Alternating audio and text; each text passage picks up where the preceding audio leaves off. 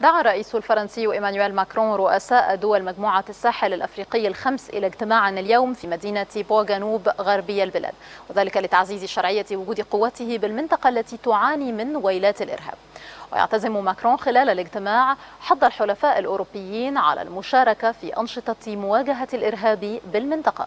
ويشارك في القمة التي تعقد مساء اليوم رؤساء دول المجموعة تشاد ونيجر وبوركينا فاسو ومالي وموريتانيا فضلا عن الأمين العام للأمم المتحدة أنطونيو غوتيريش ورئيس مفوضية الاتحاد الأفريقي موسى فاكي ورئيس المجلس الأوروبي شارل ميشيل.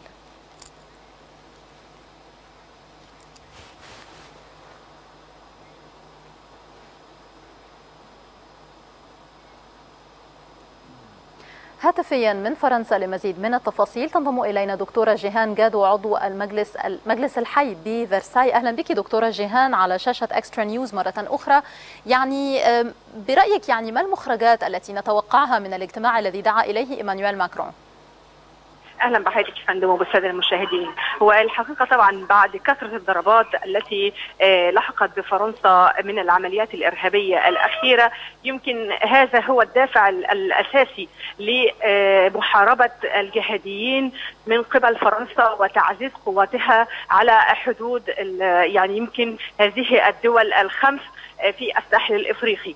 فطبعا الحقيقة يعني هو الموضوع شائك جدا خاصة بأن هناك هناك قوات بالفعل فرنسية منتشرة حول حدود يمكن يعني بيروح ضحيتها العديد من الجنود الفرنسيين هنا طبعا من قبل الجاهديين فكان لابد وأن يقوم مكرون بهذا الاجتماع أو أنه يلتقي برؤساء هؤلاء الدول حتى يضعوا الخطة المستقبلية للقضاء على هؤلاء الجهاديين بشكل أو بآخر، لأن الحقيقة هو الوضع صعب جدا في فرنسا وليس فقط في فرنسا، يمكن الجهاديين يتسللون إلى جميع الدول. يمكن في الفترة الأخيرة لاحظنا أيضا العديد من الجهاديين الذين يتسللون إلى ليبيا بدعم أو بآخر من دول يعني مثل تركيا وخلافه. فطبعا هذا يشكل خطورة كبيرة جدا جدا على معظم الدول التي فعلا تريد أن تعيش في سلام.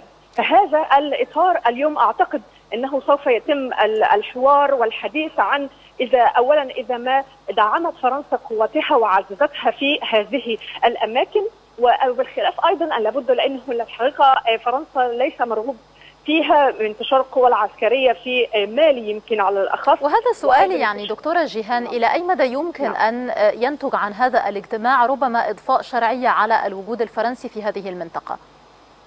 دي حقيقة فعلا. هو يمكن بعد تكرر هذه الهجمات يعني الحقيقة فرنسا تحاول بقدر المستطاع محاربة هؤلاء عن طريق الذين يتسللون إلى فرنسا ويتسللون إلى الدول الأخرى عن طريق يعني المنافذ أو الحدود. فطبعا يعني للأسف شديد بعد العمليات يمكن استشهاد أكثر من 11 جندي فرنسي أيضا في منطقة مالي وفي خلافه في الفترة الماضية. كان يمكن هو ده السبب الأساسي. يمكن أيضا في مالي يرفضون القوى العسكرية الفرنسية. لكن الحقيقة لابد وأن يصلوا إلى حل وسط بحيث إنه سواء تعزز القوات الفرنسية وتكثف جهودها لمحاربة هؤلاء أو سواء يعني يطرح مسلسل آخر أو سيناريو آخر لحل تلك الأزمة. يمكن ليس فقط لبلدة أو بأخرى لابد وأن الدول الخمس يتكاتفون جيدا لأن أعتقد أنه ليس من المتاح ابدا أن نكون دولة على وجه الأرض تريد أن تعيش في هذا الخطر يعني خطر طيب دكتورة جيهان يعني ذكرتي سيناريو آخر. برأيك ما السيناريوهات المطروحة في هذا الصدد؟ السيناريوهات المطروحه في هذا الصدد أعتقد أنه يمكن هنا وأنا أعتقد أنه يعني في في الأهم قد تكثف بالفعل فرنسا جهودها في هذه المنطقة. إذا لم يعني للأسف يخرجون بنتائج معينة فأنا أعتقد أن الوضع الوضع سوف يحصل يعني يحدث بلبلة كبيرة جدا في هذه المناطق. لذلك يدعو مصر جميع الدول للالتفاف حوله في أخذ هذا القرار ليس فقط من أجل حماية الحدود الفرنسية ولكن أيضا لحماية العديد من الدول المجاورة من خطر هؤلاء الارهابيين، فأعتقد أن الدعم العالمي أيضا من قبل الأمم المتحدة وأيضا الاتحاد الأوروبي أعتقد أنه يعني سوف يدعمون ماكرون في هذا الإطار وإلا إذا يعني الحقيقة تتحمل تلك الدول التي تسهل تسريب الإرهابيين يعني تبعات المواقف المتكررة من ضربات وخطورة على العالم أجمع. طيب برأيك دكتور جيهان يعني ما ملامح الخطة التي يمكن أن يتم التوصل إليها في سياق هذا الاجتماع لمكافحة الإرهاب؟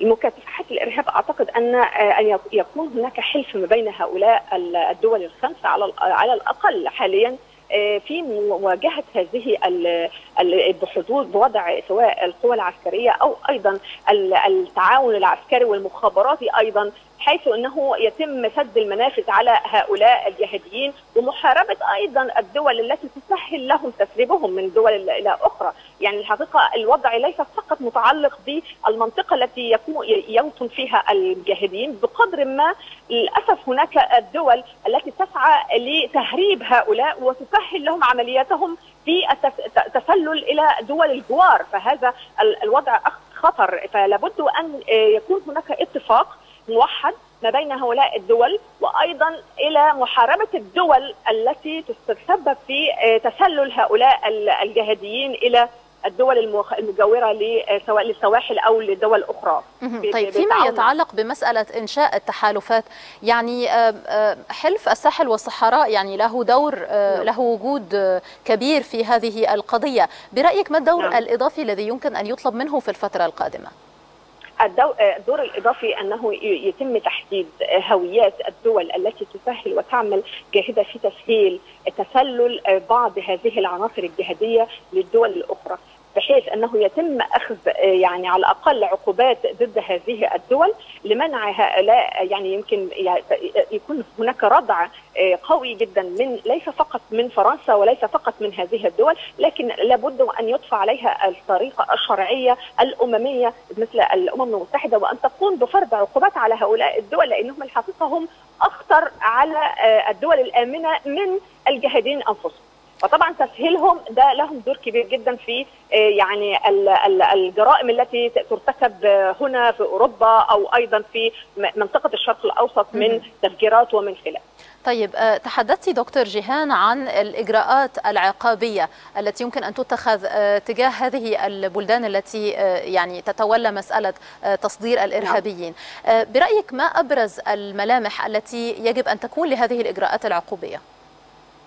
اولا هناك عدة يعني الحقيقة عدة عقوبات قد تبتدي ليس فقط بالتعدي العسكري. يعني يمكن العقوبات أيضا متاحة في العقوبات الاقتصادية، العقوبات التجارية، هناك أيضا العديد من الحد وتحجيم هذه الدول التي تسعى دائما إلى بث الخراب وبث التدمير في العالم أجمع، يمكن أيضا تمنع من يعني تصدير الأسلحة أو تصدير الأسلحة لها، هناك العديد من العقوبات التي لابد وللعالم الدولي أيضا يتكاتف في حل هذه المسألة.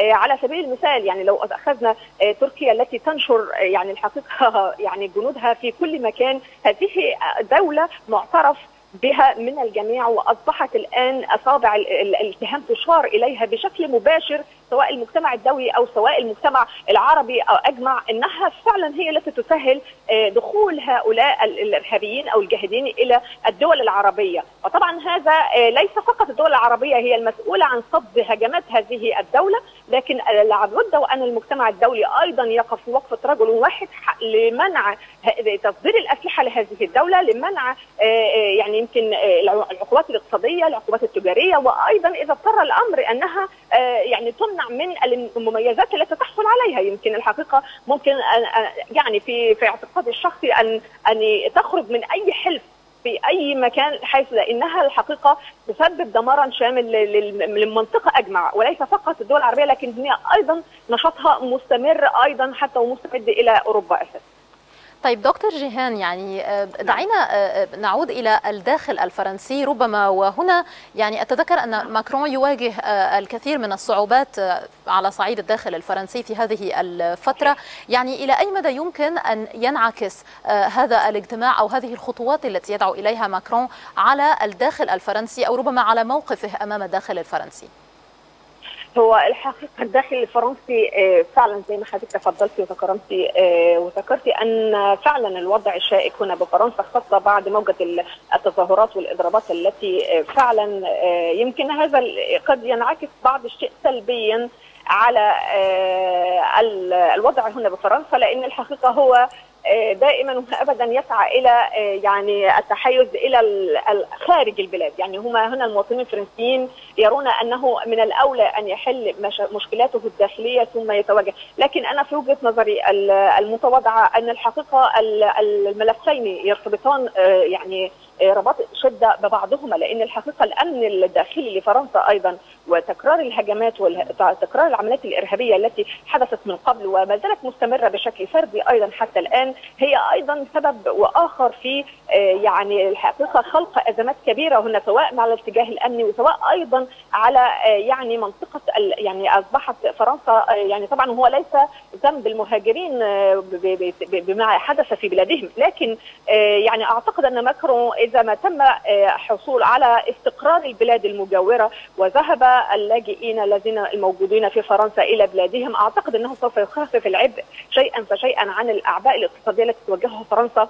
يمكن يحدث انفراجه في هذا الموضوع. فيعني الحقيقة الملفين مرتبطين أكثر يعني. صحيح. إذا أشكرك. شكرا جزيلا الدكتورة جيهان جادو عضو مجلس الحي بفرساي على كل هذه التفاصيل.